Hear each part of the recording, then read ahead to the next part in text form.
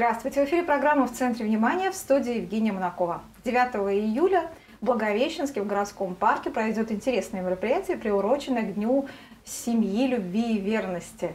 Проходить будет фестиваль йоги. Вот каким он будет в этом году, что приготовили организаторы, мы сегодня непосредственно у них и узнаем. На студии Анастасия Тимофеева и Ксения Кузьменко. Здравствуйте. Здравствуйте. Дамы, ну фестиваль йоги событие серьезное. Когда говорят фестиваль, да, понимаешь, что там должен быть какой-то масштаб. Хотя я знаю, что в Благовещенске раньше, в допандемийные времена, все-таки проводили какие-то мероприятия мероприятия на открытом воздухе такие, правда же? Да, да. Вообще а, фестиваль йоги проводили раньше постоянно. В 2018 году мы его перенесли в Первомайский парк, потом была пандемия. И вот в 2022 году у Ксении возникла идея провести его. И она нашла меня, потому что в 2018 году это была моя инициатива. Угу. Вот поэтому вот мы вместе соединились и делаем такой вот классное угу. мероприятие. Ксения, а вы как-то почувствовали, по всей видимости? Как-то почувствовала, Что нужно, да. самое я, время, да? Да, так как я люблю, ну, я как бы по жизни организатор, да, и я люблю такое праздничное настроение, и я в том году еще хотела, но опять-таки было не время, да, из-за определенных э, моментов, и в этом был такой прям рывок, порыв, и вот я нашла Настю. То есть угу. мне сказали, что уже такое было. Я думаю, о, почему бы не объединиться, да, и сделать как-то более интереснее, по-праздничному, угу. ну и даже и побольше. Ну, День Масштабно. семьи, любви и верности вы как-то изначально сразу выбрали, как вот этот вот, вот эту точку. Да, потому что, ну, это неразрывно связано также, то есть, ну, семья, наши ценности, они очень угу. совпадают, поэтому. Поэтому Конечно, фестиваль мы... йоги самое правильное. Куда может семья сходить? да, поняла, мы решили да? это приурочить у нас, потому что будет и для детей угу. детская зона, и для взрослых. То есть ребенок будет занят. Если вы придете с детьми, мы вашего ребенка займем. В общем, занятия найдутся для каждого. Да. Да? Вот давайте теперь, собственно, и расскажем по занятиям, по интересным направлениям, потому что указаны же да, альтернативные практики. Я уверена, многие и не представляют, какие это вообще практики. Ксения, расскажите, как подбирали? Вообще сложно ли было найти людей, которые у нас занимаются глубоко вот этими вот практиками, и их можно собрать? Угу. На самом деле не сложно, потому что мы с Настей, в принципе, ну, в этой культуре, скажем так, крутимся, и мы примерно уже знаем, да, кто чем у нас занимается. А, несложно. То есть, когда объявили, люди некоторые сами начали уже писать, угу. и все такой, ну, как бы костяк подтянулся. Вот скажите, с 2018 года у нас сильно изменилось э, состав вот этот вот? Людей стало больше, которые увлекаются йогой и альтернативными практиками? Да.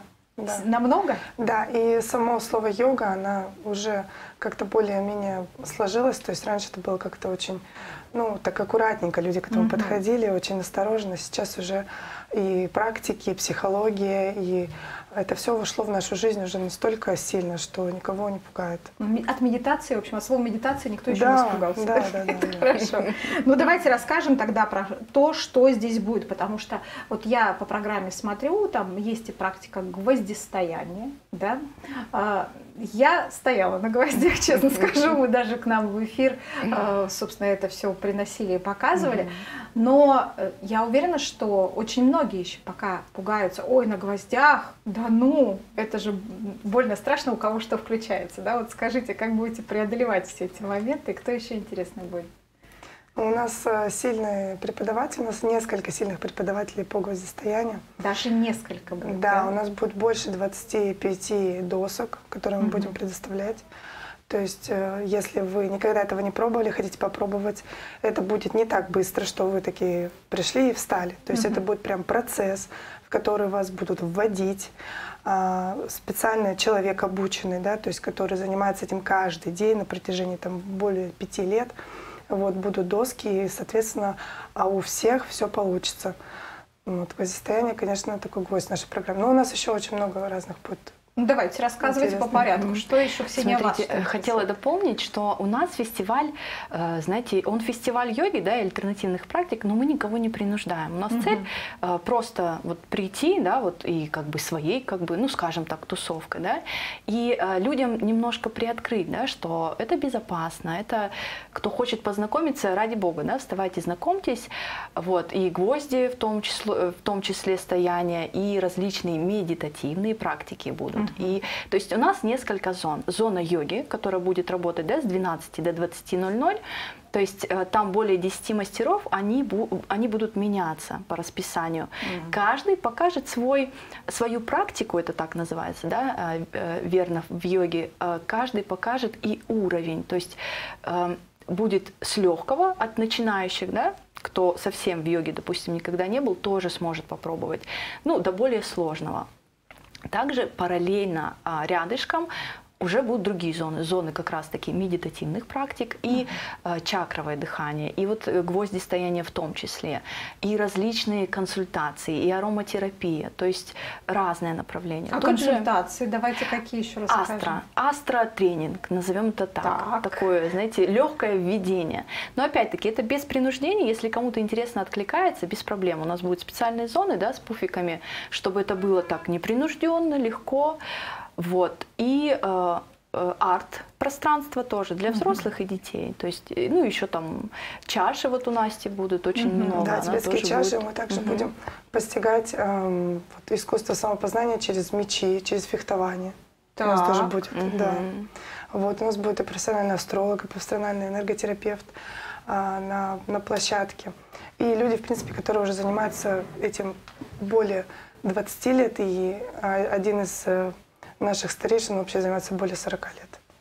Практика. Настя, вот чаша у нас тут есть, она действительно Да. не могла как-то не прозвучать хотя бы немного, да.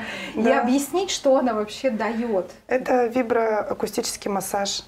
То есть, эм, Так, когда, я и не знала, когда мы это. воспроизводим звук, у нас получается, что идет вибрация, идет звук.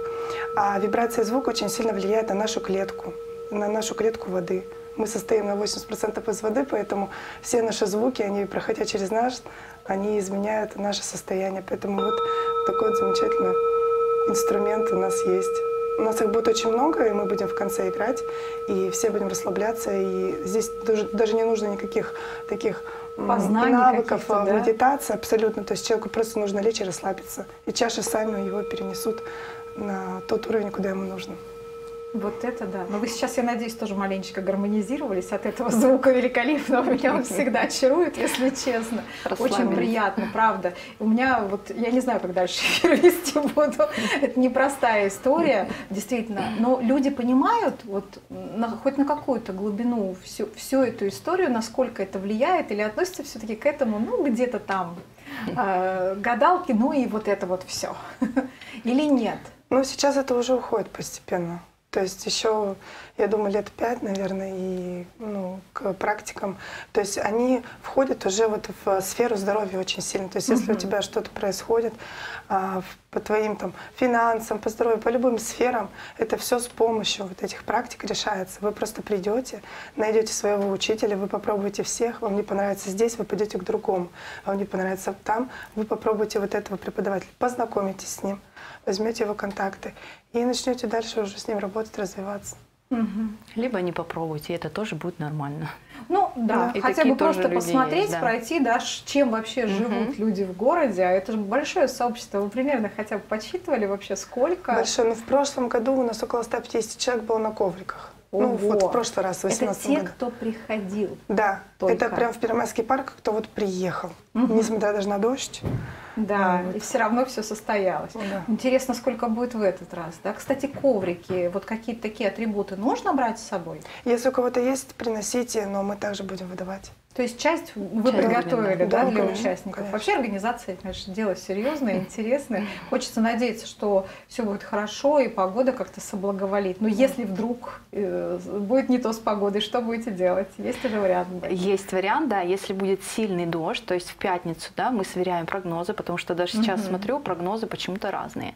Но мы, конечно же, на, нашаманим, слово такое, ладно.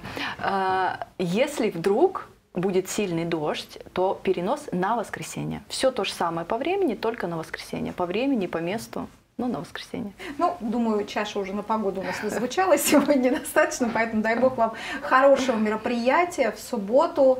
Э, Ну и все желающие, надеюсь, кто интересуется этим, придут обязательно. Спасибо большое. Спасибо. Я напоминаю, что сегодня э, вы смотрели программу «В центре внимания». В студии для вас работала Евгения Монакова. Говорили мы про предстоящий фестиваль йоги. До скорой встречи в эфире.